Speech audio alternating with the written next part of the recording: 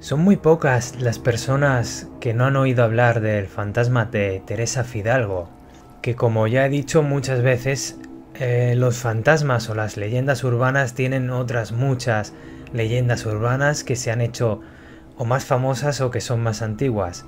Y el nombre de Teresa Fidalgo podría ser un equivalente a la niña de la curva, o incluso la han mencionado junto a la llorona. El nombre de Teresa Fidalgo se hizo súper famoso en esta plataforma, en la plataforma de YouTube. Un vídeo que podemos verlo prácticamente durante todo el tiempo con luz de visión nocturna, casi toda la pantalla en verde y oscuro, en el que simplemente vemos a unas personas en un coche que circulan por una carretera rodeada de bosque por la noche, están completamente solos, lo único que les alumbra es la luz de los faros del coche y de repente se encuentran a una muchacha, normalmente suele estar vestida eh, como un traje de novia, se la encuentran a un lado de la carretera. Ni siquiera está con el pulgar arriba o pidiendo que la transporten, pero igualmente estas personas paran, la recogen y ella simplemente les indica más o menos por dónde, por dónde deben tirar. El caso es que llegado a cierto punto, el fantasma de Teresa Fidalgo les indica que más adelante en la siguiente curva, o cerca de allí, murió ella. Y ahí es cuando su cara mm, se transforma como en algo demoníaco y hace que el conductor pierda el control del coche estrellándolo y matando a todos sus pasajeros que hay dentro.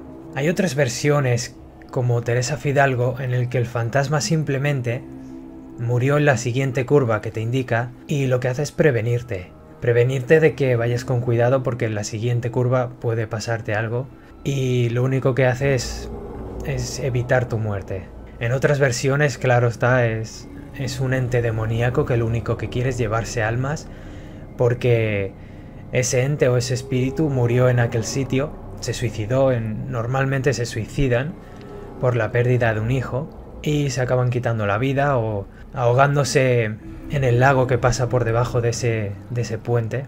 Pero bueno, esta historia de Teresa Fidalgo nos transporta a Portugal, concretamente a la carretera de Sintra, donde prácticamente todos los portugueses conocen esta historia, o por lo menos han oído hablar del nombre de Teresa Fidalgo. En esta ocasión, eh, todo comenzó cuando en 1983 Teresa Fidalgo muere en un accidente de tráfico. Pero esta chica murió en la carretera anterior a Sintra, que es la que hemos mencionado antes. Así que, una vez más, el patrón de que mm, el fantasma se aparece antes en la carretera anterior a la de su muerte, ya sea para mostrarse en su cara demoníaca eh, justo cuando pasan por donde murió, o para avisarte de que esa carretera es peligrosa. Hay centenares y centenares de, avisos de, de gente que pasa por esa carretera que incluso han llamado a la policía avisando de que han visto a una, a una muchacha fuera de la carretera que ha subido a su coche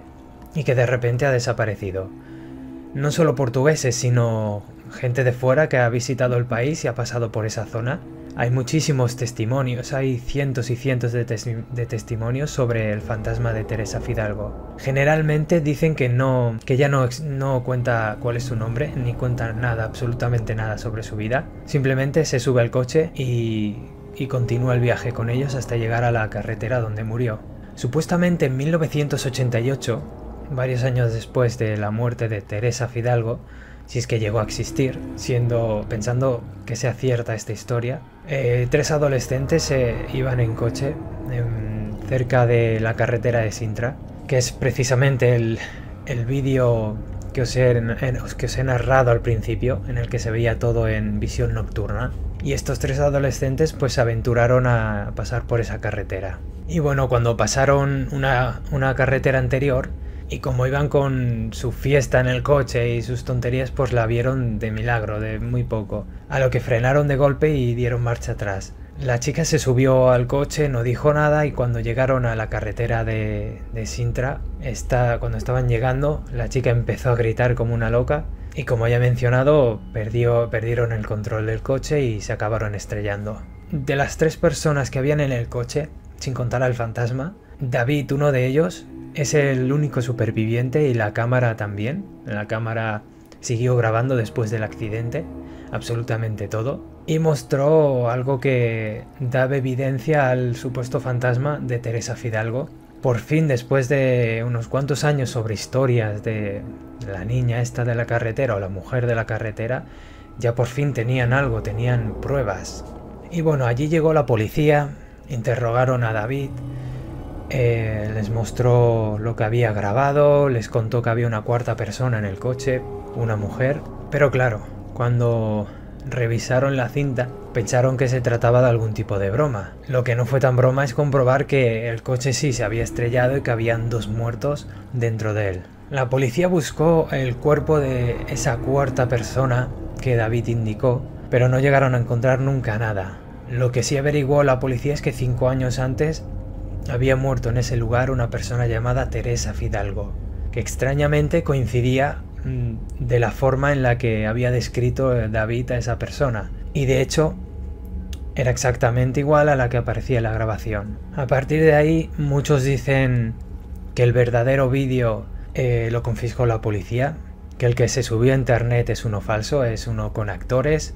Y de hecho, eh, si veis el de internet, eh, puede que os asuste porque es un tipo de screamer cuando cambia la cara a la mujer, pero sí se nota bastante falso.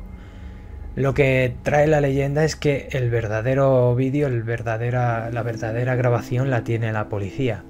Es un poco extraño porque, no sé, lleváis cinco años escuchando historias sobre Teresa Fidalgo teniendo muchos accidentes en esa misma curva, en esa misma carretera, y cuando tenéis pruebas de algo que la misma policía quería investigar y encontrar qué era lo que estaba pasando, cogéis la cinta, cogéis la grabación y, y la guardáis en secreto, eso es algo extraño.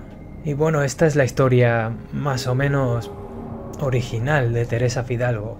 Pero fantasmas en las carreteras hay cientos de historias, no solo en Portugal, en todas partes del mundo, incluso en la Edad Media en Japón ya se conocían historias de este tipo de fantasmas que se posaban en el lateral del camino.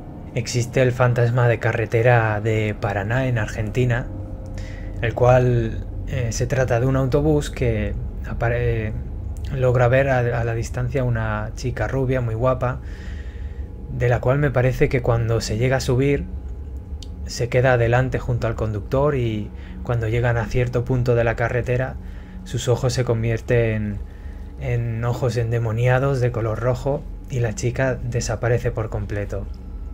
Dependiendo de si la persona eh, que conduce el autobús es buena o mala, se asustará, perderá el control del autobús y se chocará. Tenemos el espíritu del Blue Hill en Inglaterra. Aquí en España, en Tarragona, tuvimos un accidente muy trágico en el que murieron muchísimas personas en un, en un camping, el camping de los alfaques, Creo recordar que era 1970 y algo, 78, 79, y 200 y pico de personas murieron trágicamente calcinadas. No sé si un camión de gasolina se estrelló y acabó explotando y la gente murió, en, me parece que murieron en el acto, totalmente calcinadas. Cuando llegó allí ambulancias, bomberos, policías, se encontró a las personas justo cuando estaban haciendo, estaban comiendo, estaban sentadas o estaban tumbadas y eran como si hubiesen colocado allí figuras de, piedra, completamente de piedra, estaban calcinadas.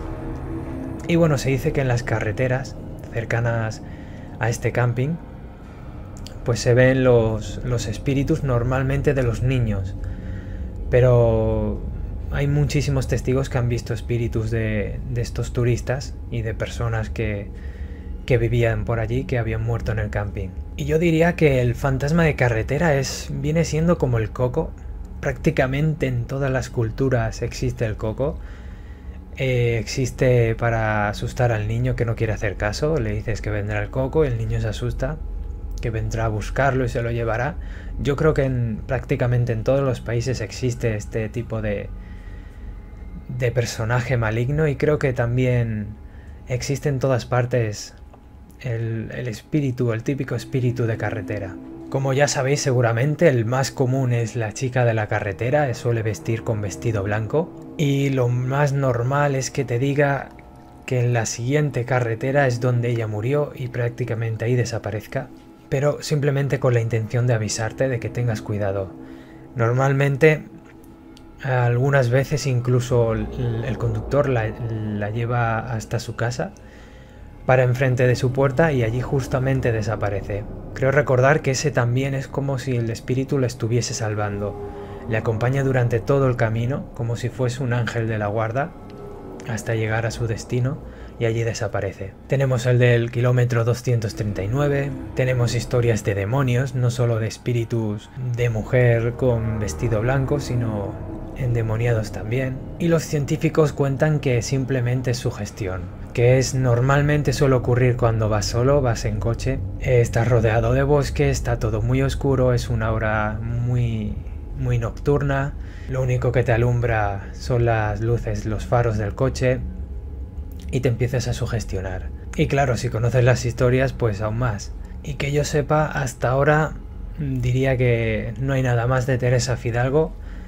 Se hizo muy famoso en sus inicios de YouTube, el vídeo se hizo súper famosísimo y por ahora no se ha sabido nada más. Sí, seguro que se han reportado más avistamientos de este fantasma por Portugal y por todo el resto del mundo, pero con otro nombre. Si conocéis algunos más, contádmelo en la caja de comentarios cuál es el fantasma típico de carretera de vuestro país. Y ya sabéis, si vais por carretera, si es de noche y estáis rodeados por un bosque, y veis a una mujer parada al lado de la carretera o a una ancianita, meted la quinta y salid corriendo de allí.